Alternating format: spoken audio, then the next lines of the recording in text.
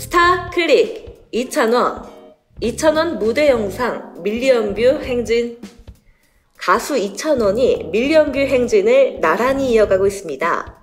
바로 이찬원의 참 좋은 날과 애인이 돼주세요 무대 영상입니다. 참 좋은 날 무대 영상은 지난 1월 23일 카카오TV KBS 1TV 채널에 공개된 이후 7월 12일 기준 100만 view를 넘어섰습니다. 영상에는 KBS 1TV 열린 음악회에서 참 좋은 날 무대를 선보이는 2,000원의 모습이 담겼습니다.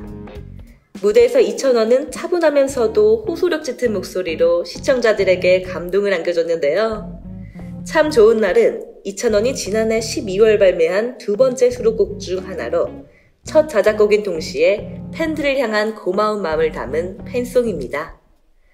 이찬원은 찬스타임 전국 투어 콘서트에서 참 좋은 날 선공개를 했을 때 감정에 복받쳐 눈물을 흘렸던 적이 있습니다. 그 정도로 팬들을 향한 사랑이 오롯이 담겨 팬들의 마음을 사로잡았던 곡입니다. 또 애인이 돼주세요 무대 영상도 동시에 100만 view를 넘어섰습니다. 지난해 9월 3일 유튜브 채널 미스앤미스터트롯 공식 계정에 공개된 애인이 돼주세요 무대 영상 역시 7월 12일 조회수 100만 view를 넘어섰습니다. 영상은 TV조선 사랑의 콜센터에서 이찬원이 선보인 설운도의 애인이 돼주세요 무대가 clean 버전으로 담겨 있습니다. 이찬원은 순백의 수트를 입고 무대에 올라 호소력 깊은 목소리로 시청자들의 눈과 귀를 사로잡았습니다. 팬들은 매력 만점 최고, 미소천사 꽃미남, 멋진 노래와 흥, 2,000원 사랑합니다.